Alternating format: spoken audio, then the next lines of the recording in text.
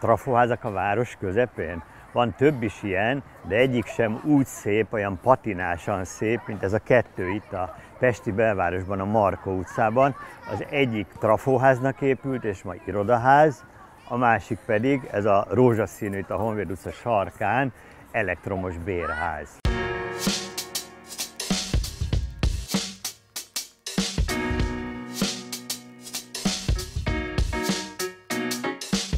Tehát több emeletes elektromos házak a belvárosban? Igen, mert annak épültek a 30-as évek elején. Itt a Honvéd utcai bérház tekintélyes kettős bejáratát például egy olyan férfiak díszíti, ami a kezében villámokat tart, ami nem is meglepő, hiszen itt mindkét esetben a megbízó a székes fővárosi elektromos művek volt. Budapest székesfőváros 1926-ban írt ki jelig és nyílt tervpályázatot a harmadik elektromos bérház terveire. A sajátos párosítás a terület lehetséges elrendezését is eleve meghatározta, ugyanakkor az egyik pályázó Györgyi Dénes tervének az volt a különlegessége, hogy ő több szomszédos fővárosi telket is bevont a tervezésbe, és egy teljesen új utcát is nyitott volna, majdnem egészen a Szent István körútig. De a tágabb léptékű városépítészeti megoldás nem nyerhetett. A transformátorházra és a bérházra kiírt pályázatot végül Román Ernő nyerte meg, de a zsűri rögtön fölkérte a két építészt, hogy a projektet közösen valósítsák meg, elsősorban Györgyi Dénes tervei alapján. Reálisan ez azt jelentette. Györgyi Dénes fiatalon több iskolát, középületet tervezett vidéki városokba, például Keszhelyre a Balaton Múzeum épületét, vagy a Debreceni Déri Múzeumot a 20-as évek neobarokjának szellemében, de sokat tanult abból is, hogy a magyar nemzeti pavilonokat tervezte több világkiállításra. És persze hatottak rá kompromisszumok és kordivatok, a német Bauhaus, vagy korábban a bécsi Otto Wagner, illetve a német Verbund iskolája.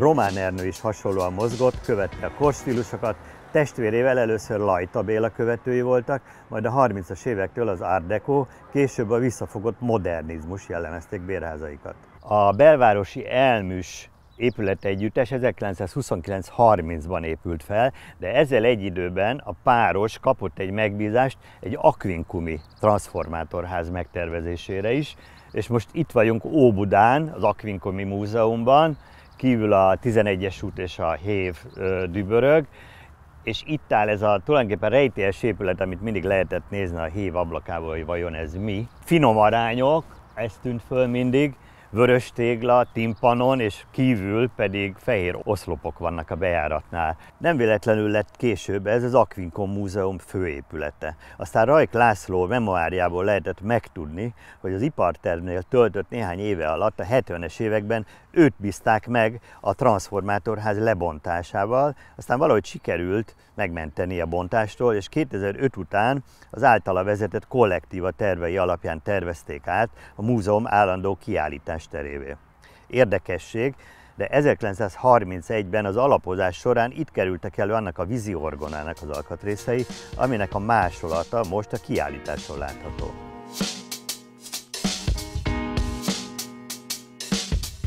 De vissza a Markó utcába, a közös terveken Györgyi Dénes és Román Erdő neve közösen szerepelt, de valószínűleg nem volt ez annyira gördülékeny ez az együttműködés, mert egy idő után felosztották a terepet, így az Aquincumi transformátorházat Román tervezte, ezt a Markó utcait pedig Györgyi Dénes. A nyers tégla homlokzatú transformátorház játékos tagoltságával sokak szerint amerikai ipari épületekre emlékeztet, mások szerint az épület lépcsős teraszos tégla architektúráját, égszerű kiugrásait az észak-német Bremerhaveni víztoronyba oltott lakóház, a Von Wasserturm inspirálta. Esetleg a szintén nagyjából korabeli londoni Warwickshire House. Nálunk ezt leginkább Art Deco-nak hívták.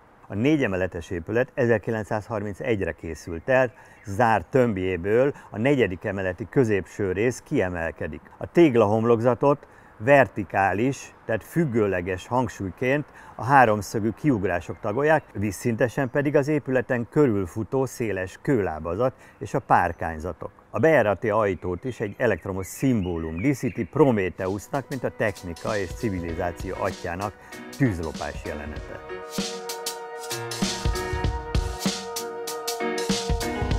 Az épületet a 70-es évek végén ipari műemlékké nyilvánították, de egészen 1990-ig transformátorházként működött. A 90-es évektől egy újabb átalakulás, bankközpont és bankfiók lett belőle, a földszintjére még trezorokat is telepítettek, aztán irodaház lett, ez már a 2000-es évek, 2014 óta a Transformátorház, a Marko utcai Transformátorház irodaházként működik. A Honvéd utcai bérház épület egyébként nem csak az Óman Béla féle elektromosság szoborról nevezetes, hanem arról is, hogy még évtizeddel ezelőtt is lelkes rajongói falfirkák emlékeztetek arra, hogy itt nőtt föl Kovács Ákos, azaz Ákos a popstar.